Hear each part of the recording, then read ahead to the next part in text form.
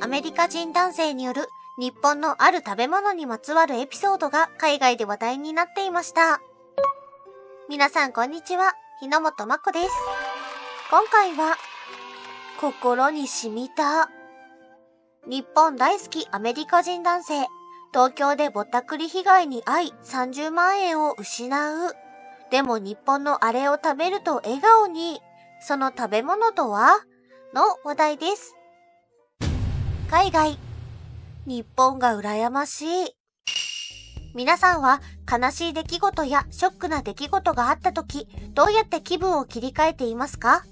思いっきり泣いたり、体を動かしたり、あるいは好きなものを食べたりする人もいることでしょう。今回ご紹介するのは、アメリカ人男性による日本のある食べ物にまつわるエピソードです。彼は大好きな日本でぼったくり被害に遭い、旅費のほとんどを失ってしまったそうです。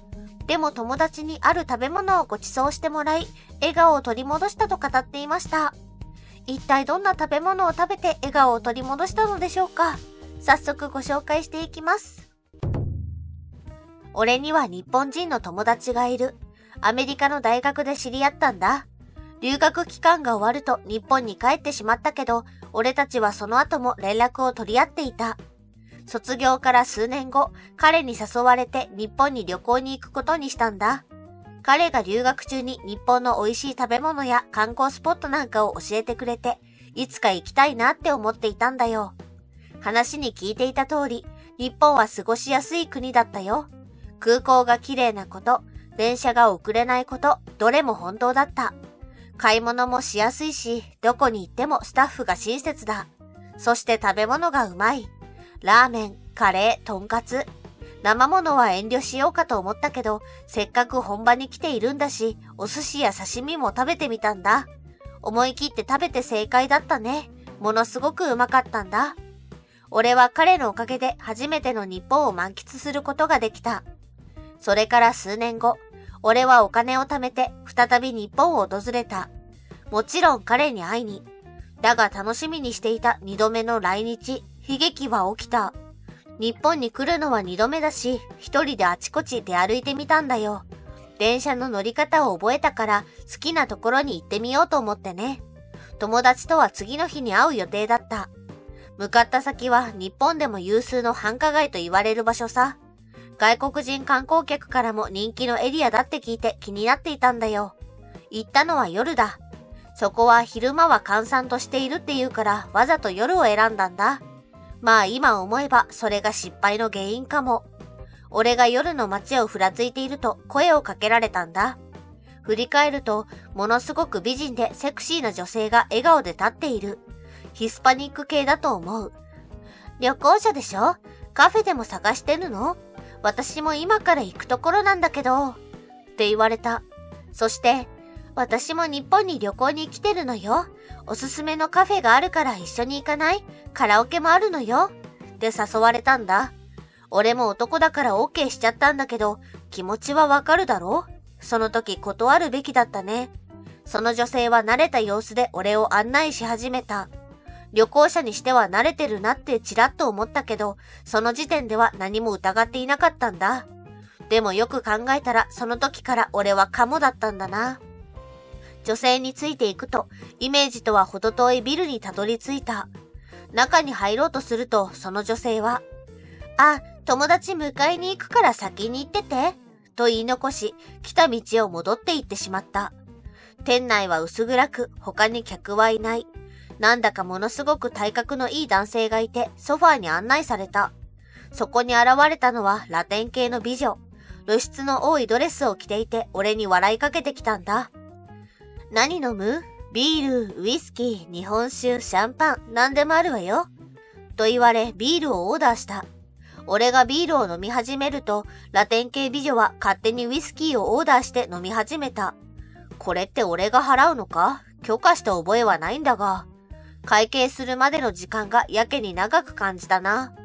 支払い金額を確認すると、ビール2本とウイスキー水割り2杯で14万円だといくらなんでも高すぎるだろう。ところがそこからまた追加料金が発生。ラテン系美女が追加オーダーしたんだ。そんなに手持ちがなかったから近くの ATM まで行く羽目になったよ。しかも俺が逃げないように見張るためか、さっきの体格のいい男性が一緒についてくるんだ。トータルでざっと30万くらいなくなったと思う。やられた。後から知ったんだが、これはぼったくりバーのよくある手口だったらしい。日本に観光に来ていると言って近づき、仲間の経営するぼったくりバーに連れて行くっていうやつだ。日本人が海外旅行に行って、片言の日本語を話す現地人に誘われてぼったくられるっていう話は聞いたことがある。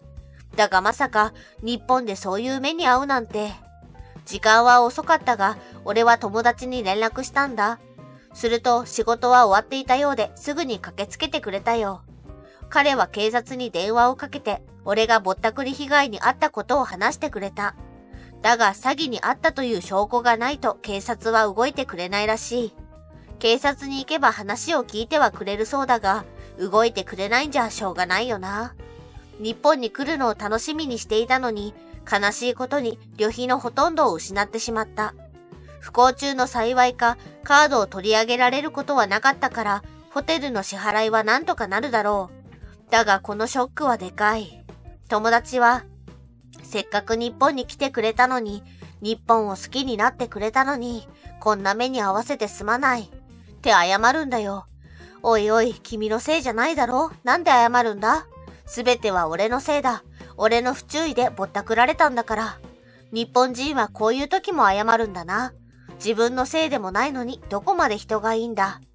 俺は彼に、日本人はこういう時どんなものを食べるんだ？お金がなくて悲しい気分の時さ。と聞いてみた。すると彼は、うーん、お袋の味かな？と答えた。お袋の味、マカロニチーズかなでもここは日本だ。一番はマカロニチーズだが、日本で食べるなら牛肉料理かな。そこで俺は、牛肉を食べたいけど、日本の牛肉って高いんだよな。どこか安くてうまい牛肉の料理を出す店はないか？って聞いてみたんだよ。それを聞いた友達は、分かったついてこいと言って歩き出した。彼が連れて行ってくれたのは牛丼の店だった。彼は、お金がない時の牛肉って言ったらここだよ。と言って俺に牛丼をご馳走してくれたんだ。牛丼はなんとなく知っていたが食べたことはなかった。彼が選んだのは牛飯特盛り。後からメニューを見たらこれが一番高かったんだよ。彼はなるべくたっぷり牛肉を食べてほしいからねと笑っていた。嬉しかったね。俺はありがたく牛丼を食べることに。牛肉を見るとなんだか小さい。そして似てある牛肉だ。うまいのかな食べてみたよ。パク。おー、じわー。口に入れるとなんだか優しい味がした。牛肉にタレが染み込んでいてうまい。玉ねぎも柔らかくて甘い。このボリュームでしかも味噌スープもセットになっている。これなら元気がない時でももりもり食べられそうだ。牛丼の味も友達の優しさも心にしみる。涙が出そうになったよ。しかも値段は思ったほど高くない。安い方だ。アメリカで食べたら15ドルくらいするんじゃないかな。日本の牛肉料理って高いイメージがあったけど、これはいいね。日本人は安くてうまい牛丼を食べて牛肉のパワーをもらっているんだろうな。まさか日本旅行に来て外国人旅行者を狙ったぼったくり被害に遭うとは思っていなかった。だけど日本ならお金がなくても安くてうまい牛肉を食べられるから安心だな。俺がそんなことを言うと彼は、よかった、笑顔になったねって言ってくれたよ。ショックは大きかったが、俺は日本の安くて美味しい牛肉料理、牛丼を知ることができた。俺は友達に牛丼について教えてもらったよ。牛丼は1800年代後半くらいに流行していた食べ物で、当時は牛飯と呼ばれていたそうだ。牛肉と野菜を煮込んだ味噌味の鍋料理があって、そのスープをご飯にかけたものが牛飯だったらしい。牛飯は鍋料理の最後に食べるものだったが、最初からご飯にかけて提供する店が登場する。これが牛丼だそうだ。当時の牛丼は味噌味だったらしい。その後、関西風の味付けが取り入れられるようになり、醤油ベースの味付けになったという。だから当時の牛丼は、今の牛丼とは味が違うみたいなんだ。ご飯にスープをかけたものだから品がいい料理とは言えないっていう声もあったそうだ。でも手軽に美味しく食べられることからあっという間に人気になったらしいよ。今では牛丼は日本のファストフードの一つ、いや代表格だそうだ。牛丼のチェーン店も多く、吉野家、松屋、中尾、すき家と様々だ。元祖牛丼チェーンは吉野家で1899年に最初のお店がオープンしている。次が松屋で牛丼店を出したのが1968年らしい。1969年には中尾が、1982年にすき家が登場。俺がご馳走してもらったのは松屋の牛飯。松屋は朝食メニューもあるそうで、朝5時からやっているという。友達に調べてもらうと、ホテルの近くにも松屋があると分かった。お金がなくてもうまい朝食を食べたい俺は、翌朝松屋に行ったよ。驚いたね。モーニングのセットメニューはなんと290円からあるんだ。290円のは生卵か半熟卵から選べるっていうセット。他にもグリルした魚料理がメインのセットやソーセージエッグのセットなんかがあった。俺は前日に牛肉を食べたから朝は豚肉にしてみた。その朝食セット約3ドルだよ。朝から安くてうまい肉料理を食べてすっかり元気になったんだ。お金はまた稼げばいい。同じ被害に遭わないように注意しよう。またしばらく働いてお金を貯めたら3度目の日本旅行をする予定だ。今度日本に行ったら最初に何を食べるかもうすでに決めてある。そう、松屋の牛飯特盛りだ。以上がエピソードの概要です。そんな日本の牛丼に関する話題には、海外スレッドにもたくさんのコメントが寄せられていました。その一部をご紹介しますのでご覧ください。海外の反応。日本の牛丼美味しそう。ノースカロライナにもあればいいのに。